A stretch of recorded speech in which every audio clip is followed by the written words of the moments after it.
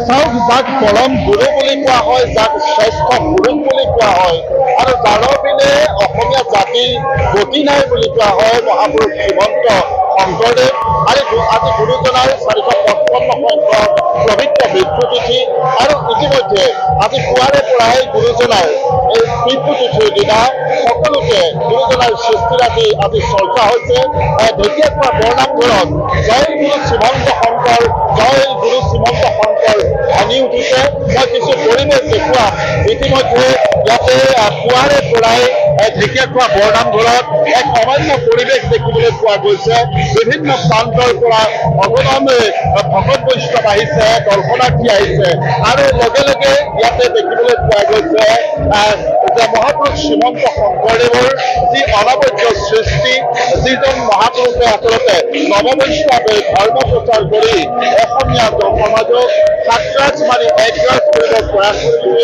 সেইজন আজি মহাপুৰুষৰ আচলতে সৃষ্টিৰাজিত ইয়াতে ধ্বনিত হৈছে। মই পোনে ইয়াতে খুব সুন্দৰকৈ যিহেতু নাম প্ৰসংগ চলি আছে দিহা নাম চলি আছে এই মুহূৰ্তত। মই তাৰ বাবে লৈ যাব বিচাৰিছো।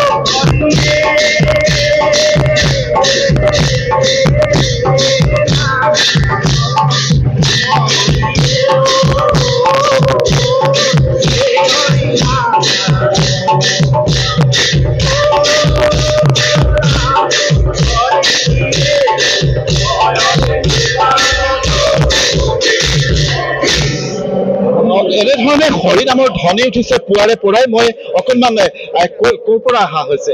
কৃষ্ণ আজি ভক্তপৰাণ ৰাজ্যৰ শ্ৰী শ্ৰী শংকৰদেৱৰ জন্মোৎসৱত আমি ঢেকীয়াখোৱা নামঘৰত আহি শিৱসাগৰৰ পৰা উপস্থিত হৈছোহি। আৰু আমি এই প্ৰথম নাম বন্তি সেৱা কৰি উঠি প্ৰথম ইয়াতে স্থলীতে নাম এভাগ দেখিলোঁ। সকলোৱে আমি আনন্দৰে গাবলৈ আৰম্ভ কৰিলোঁ। মানে নাম দেখি ৰ'ব নোৱাৰিলো। নোৱাৰিলোঁ। কাৰণ যিহেতু ভাদ মাহৰ আধ্যাত্মিক এটা মাহ আমাৰ হিয়াৰ দেহে কোষে কোষে বিয়পি আছে। সেই ভাদ মাহৰ মহত্বটো। সেইকাৰণে আমি ৰ'ব নোৱাৰি আমি সকলো আইসকল আহিছোঁ। ইয়াত প্ৰভুৰ চৰণত সেৱা ভাগি জনাই আমি নামত অংশগ্ৰহণ কৰিছোঁ। গুৰুজনাৰ তিথি বুলি ক'লে অলপ সুকীয়া হৈ পৰে। গুৰু শংকৰক এৰি একো ভাবিব নোৱাৰে অসমীয়া জাতিয়ে হয়? হয় আমাৰ গুৰুজনাই আমাৰ মূল আদৰ্শৰ। গুৰু ভক্তি। আমি গুৰুজনাৰ পৰাই আমি সকলোবিলাক পাইছোঁ। আজি আমি এই মূল নামঘৰ ভাগো গুৰুজনাৰ পৰাই পাইছোঁ। গতিকেলৈ আমি আজি তিথি বুলি শিৱ শিৱসাগৰৰ পৰা আহি আজি ঢেকীয়াখোৱা নামঘৰত উপস্থিত হৈছোঁহি।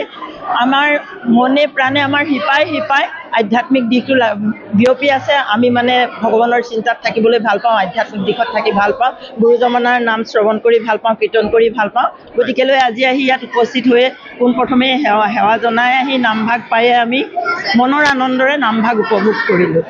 নিশ্চয়কৈ আপোনালোকক আমিও সেৱা ধৰিছোঁ। যিহেতু এটা খুব ভাল লগা পৰিৱেশ। আৰু এনেধৰণেই পুৱাৰে পৰাই ঢেকীয়াখোৱা বৰনামঘৰত এক অনন্য পৰিৱেশে বিৰাজ কৰিছে গুৰুজনাৰ আজি মৃত্যু তিথি তিৰুভাৱ তিথি উপলক্ষে মই কিছু ভিতৰৰ পৰিৱেশ এই মুহূৰ্তত দেখুৱাম। এই মুহূৰ্তত বিভিন্নজন আহিছে। অসমৰ বিভিন্ন প্ৰান্তৰ পৰা বিভিন্নজনে আহি ইয়াতেই আচলতে গুৰু মাধৱে যিগছি বন্তি জ্বলাই গৈছিল অক্ষয় বন্তি বুলি যাক কোৱা হয় সেই বন্তিত সকলোৱে তেল অৰ্পণ কৰি সেৱা ধৰিছে।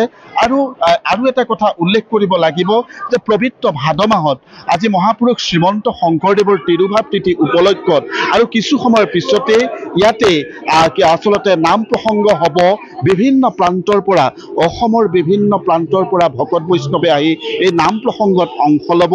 আৰু যিহেতু মই পূৰ্বতে উল্লেখ কৰিছোঁ মহাপুৰুষ শ্ৰীমন্ত শংকৰদেৱৰ যি আদৰ্শ মহাপুৰুষ শ্ৰীমন্ত শংকৰদেৱৰ যি সৃষ্টি সেই সৃষ্টিৰ জৰিয়তে আচলতে অসমীয়া জাতি আজিও অসমীয়া জাতি হিচাপে চিহ্নিত হৈ আহিছে।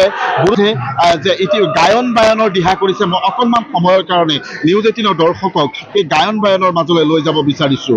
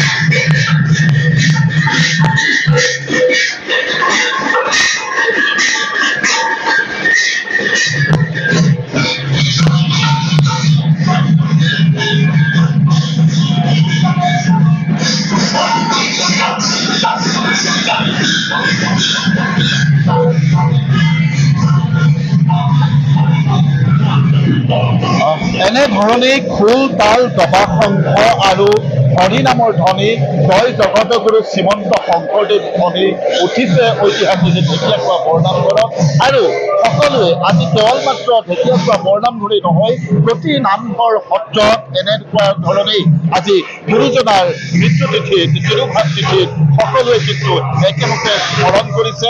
আৰু গুৰুজনাৰ যি সৃষ্টিৰাজি সেই সৃষ্টিৰাজি গুণানুকীৰ্তন কৰা পৰিলক্ষিত হৈছে। আপুনি বিচৰা বাতৰি পাব কেৱল নিউজ এইটিন এপত। নিউজ এইটিন এপ ডাউনলোড কৰিবলৈ স্কেন কৰক এই Q R code Google Play ষ্টৰতো পাব এই নিউজ এইটিন এপ